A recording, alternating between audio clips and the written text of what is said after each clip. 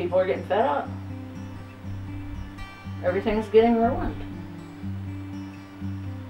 There was a lot of lies.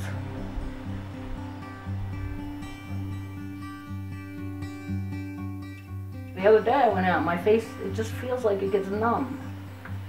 I, don't know what it is.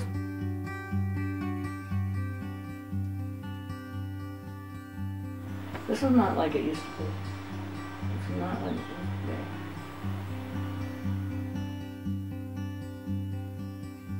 I would like to go back to my hometown, which is Boyertown. But now with all this stuff going on, we just, I can't afford it. Now my car's down. I don't know.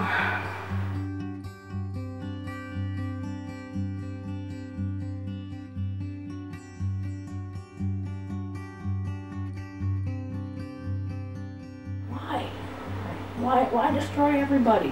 Why destroy the water? Why the earth, you know? It's all about the money. It's not about the people. Oh, I think they do know what they're doing. They don't care who they hurt.